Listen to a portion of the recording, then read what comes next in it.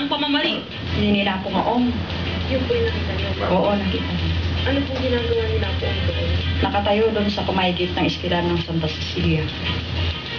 Ito nga arayatik na kapitan. Agpapaarayat nga pumanok pa agad. O, kumbaga nakit. Dagita, dan ako ti pumaltog kanya kung kuna naman. Pero hindi daw nila nakita ang mismong bumaril kay Kapitan. Ang malaking tanong, bakit nasa lugar ang asawa ng kanilang alkalde pagkatapos na pagkatapos ng barilan?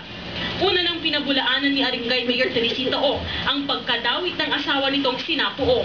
Pagpaimbit na pa ako para lumabas yung katotohanan.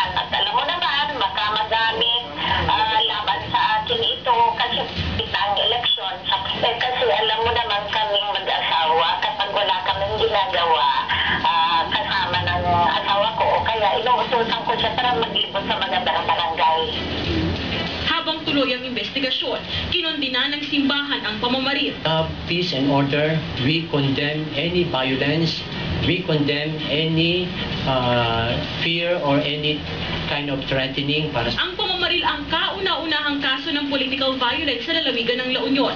Bago sumapit ang 2010 elections. We are trying our best, we are doing our best to uh, solicit the support of uh, all the stakeholders nitong uh, election na to. Si Borja ay tatakbong konsihal ng Aringay. Binaril si Borja Sabado ng umaga sa harap ng Santa Cecilia Elementary School.